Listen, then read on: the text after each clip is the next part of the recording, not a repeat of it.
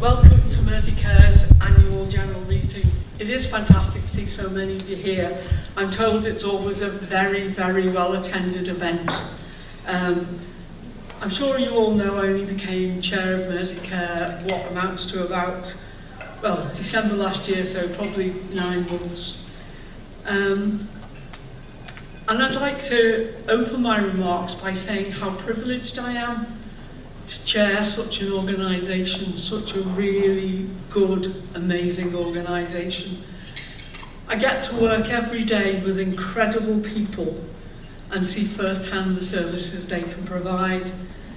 Now that being said, nine months in, I've still got my L plates on. I'm really only just getting to know the top level and just starting to burrow down into some of the services. So it's going to take me a good while to get to know the system, the services, the individuals, as well as I hope to very soon. I've joined Merseycare at a very, very tough time for the NHS. Tough for the health of the people and the communities we serve. We're recovering from a pandemic, a global pandemic, which has changed so much out there it's brought a devastating impact on families, patients, the wider public, and of course you've got the cost of living crisis affecting everyone in so many different ways. Here in the NHS, and I'm talking to some members of staff here as well, we face dramatic shortages of qualified staff right across all services and there's huge pressure on the levels of expenditure so in times like these, getting basics right, maximising everything we do, has to be the right way to go. It's got to be our focus. How do we get that right? The way to get it right is to listen to each other, for us to listen to you, and for us to do our best by you. The truth is, the voices of every single person who uses the services or are cared by our services, if we listen to those, that gets us closer to whether we're getting our basics, whether we're getting the service to you right. For the most part, I would say Merseycare manages to do the basic very well, day in, day out.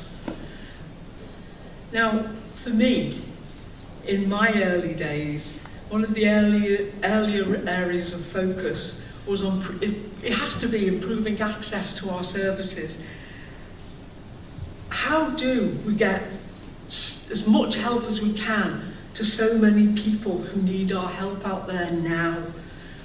We will need, we are thinking differently about how we use everyone's time to reach as many people as possible. Sorry, that's pinging in the hearing aids. Um, so, how do I see my job? I suppose my job is to focus on results. The results that make a real difference to the people we serve. If you work closely with me, you'll know that I'm obsessed by outcomes. Just doing it for the heck of it, just doing it for the sake of it. What's the outcome? How does it improve um, the situation for patients. So if somebody tells me about a great improvement to a service, the questions I start asking and absolutely asking is, what difference does it make for patients? What difference does it make to staff? How much easier does that enable us to help um, everyone we're, we're responsible for? So I'm surrounded by some brilliant, brilliant minds, much greater than mine, experts in Merseycare's exec team. And these people do their best every single day to deliver the best for you. These are these and the hundreds of people who work in the clinical services out there in the wards, in the community, they're the people who achieve the results. They do it that's not my job. My job is to help them do it the best way I can. So, my job's focused on results. the outcomes of what we do, what we do for you. You are the people we serve. You are the reason we're here.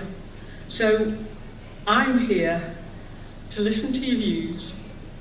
Don't think what I'm saying is it'll always go the way you want. The answers are uh, really easy, because if they were, they'd already have happened. So by listening to your views, what we're trying to do is to work out whether we're getting it right. If we're not, then work together to try and see if we can make those improvements. Because if we do improve it, that's a better result for everyone. I suppose finally, I'd like to say that I'm clear that although it's a difficult time, although it's a challenging time, we can be stronger if we keep talking together, working together. And I'm, I want us to stay focused on a limited number of priorities so that we can see and make that difference. I'm proud to say that Merseycare has a new strategy to help us steer in that right direction. And Joe, the Chief Exec, is going to talk you through some of that detail shortly. But for me, we need to make sure we've got a good long-term strategy, that it's the right one, that helps us get the basics right, helps us get the care right that we provide in very challenging circumstances. We don't operate in isolation, we're part of Cheshire Mersey, very, very tough.